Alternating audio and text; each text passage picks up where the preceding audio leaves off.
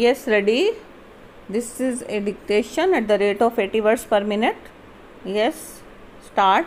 I am very happy that the Honorable Minister has announced various incentives to the farmers. I talked to some of them, but it seems some confusion is being created. Sometimes and I give you the example of Tamil Nadu. Our honorable member and Congress president of Tamil Nadu had gone to Tamil Nadu and he accused Mr.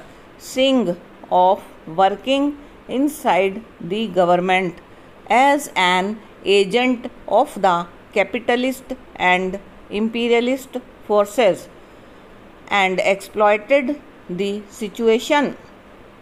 And he further said that the last two budgets presented by our Prime Minister and the Finance Minister have sought to correct the distortions and deviations.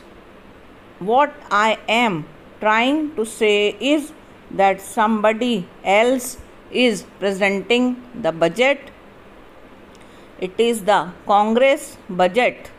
What I would say is that there is a certain direction whether it is presented by Mr. Singh or by somebody else.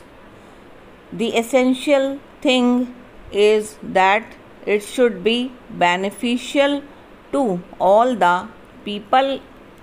Para, I am happy the Honorable Minister has introduced various new schemes and he has tried to do his best in the present circumstances. I congratulated him.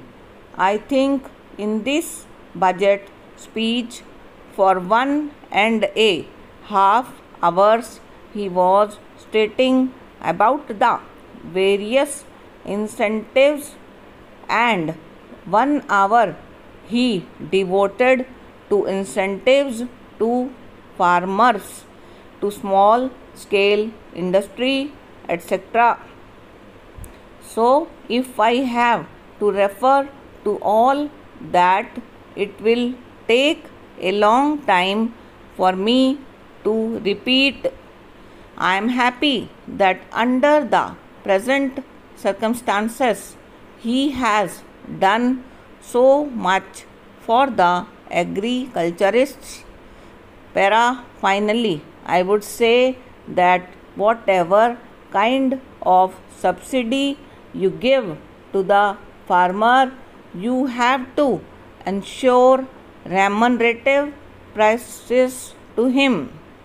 Unless you give proper price whatever you do to help him will not be of much use.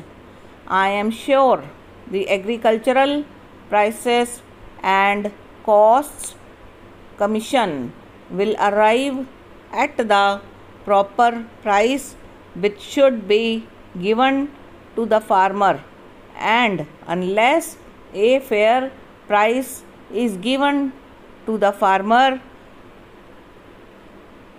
the lot of farmers cannot be improved. They have to spend more on inputs, they have to spend more on so many other things, and they have to purchase also. Therefore, it is essential that they get a fair price for their produce. Para, I have one more request to make. It has been said that the export duty on coffee is going to cripple the coffee industry in the south. I hope the Honorable Minister will exempt the industry in respect of export duty. Stop and over.